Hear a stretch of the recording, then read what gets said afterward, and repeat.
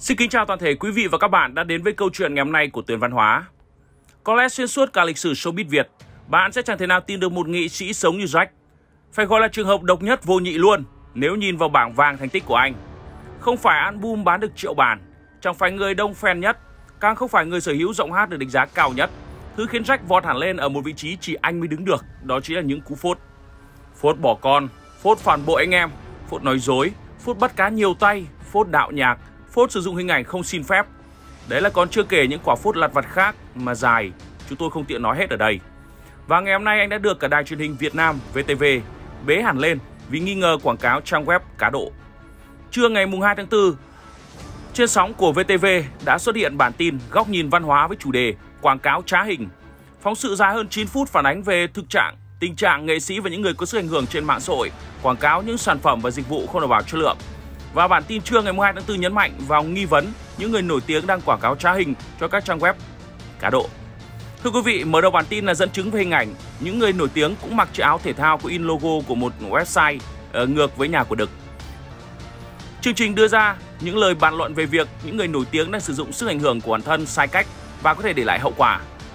Bản tin cũng nhấn mạnh các loại hình cờ bạc cá độ bị cấm quảng cáo, nhưng hiện tại mạng xã hội lại xuất hiện rất nhiều hình thức quảng cáo tinh vi, khó quản lý và đôi khi rất khó lường. Thế nên chương trình đưa ra biện pháp cho người dân là không nên xem, không chia sẻ và báo xấu các quảng cáo liên quan đến hành vi cá độ cờ bạc. Ngay sau khi lên sóng, mạng xã hội đã nhanh chóng chia sẻ hình ảnh và nội dung của bản tin VTV. Nhiều người có phát hiện hình ảnh và nam ca sĩ nổi tiếng được nhắc đến trong bản tin chính là Jack. Như hình ảnh Jack và chiếc áo từng gây xôn xao cũng đã nhanh chóng bị đào lại. Trước đó, vào đầu tháng 1 năm 2024, mạng xã hội đã lan truyền thông tin nghi ngờ Jack quảng cáo trang web cá độ. Cụ thể, netizen đã chia sẻ hình ảnh nam ca sĩ mặc chiếc áo có in tên của một ứng dụng cá cược. Hình ảnh nhanh chóng đã khiến dư luận xôn xao bàn tán. Thời điểm này thì Jack chưa đưa ra phản hồi nào khi mà chúng tôi làm bản tin này. Thưa quý vị, cho đến ngày 5 tháng 2, hình ảnh Jack bất ngờ xuất hiện trên trang web cá cược.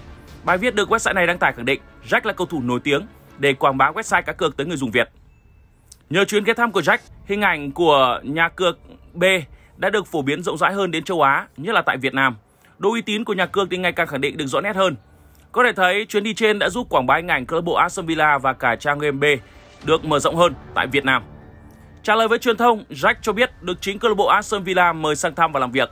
Anh được tham quan phòng thay đồ, phòng họp báo, store sản xuất áo đấu và tập luyện các kỹ năng chơi bóng với những ngôi sao nổi tiếng nhất của câu lạc bộ, giao lưu phỏng vấn với họ, đồng thời giới thiệu Việt Nam với họ. Theo Jack thì có một page liên quan cá độ đã lên hình Jack gắn vào không đúng mục đích. Sử dụng hình ảnh không được bên Jack cho phép. Jack nói chẳng liên quan gì với các bên khác và chỉ làm việc trực tiếp với câu lạc bộ Aston Villa. Tuy nhiên, cư dân mạng khẳng định là điều này hoàn toàn chưa thực sự chính xác.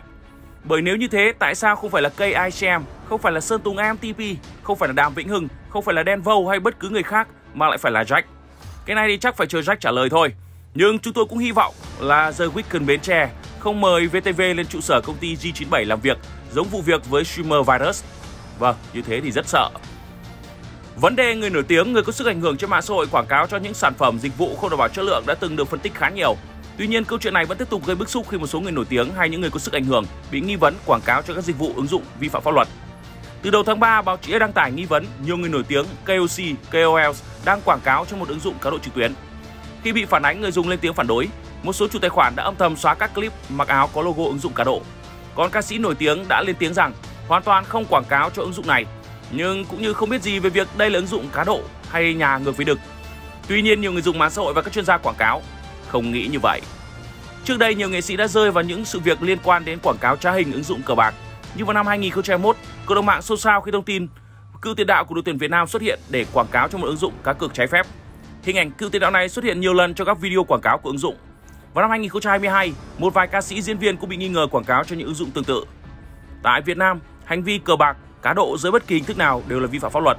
Do đó các loại hình này đều bị cấm quảng cáo theo khoản 1, điều 7 Luật quảng cáo 2012. Mức phạt cho hành vi này có thể là phạt tiền hoặc thậm chí là phạt tù. Tuy nhiên thực tế hiện nay, việc quảng cáo trên các nền tảng mạng xã hội đang diễn ra rầm rộ với hình thức ngày càng tinh vi, khó quản lý. Hiện nay có một sức mạnh rất lớn là sự phản đối từ cộng đồng mạng xã hội. Khi cộng đồng thấy hành vi quá lố bịch sẽ bị tẩy chay, cần tăng cường tuyên truyền, đặc biệt là với các cơ quan báo chí chính thống để người dân hiểu được đâu là hành vi lách luật, trá hình. Đáng sợ hơn, hàng trăm xe ô tô khách tại bến xe Giáp Bát, Hà Nội công khai quảng cáo cho các website cá cược trực tuyến. Tiếp tục tìm hiểu cho các hội nhóm, trang fanpage của nhóm này, phóng viên đã phát hiện được các đối tượng này đăng tải bài viết về chương trình thiện nguyện tại hai điểm trường tiểu học thuộc huyện Nam Trà My, tỉnh Quảng Nam. Bài viết có nội dung Vừa qua ngày 10 tháng 12 năm 2023, chuyến xe thiện nguyện mang tên G đã lăn bánh đến hai địa điểm, đó là hai điểm trường tiểu học tại huyện Nam Trà My, tỉnh Quảng Nam.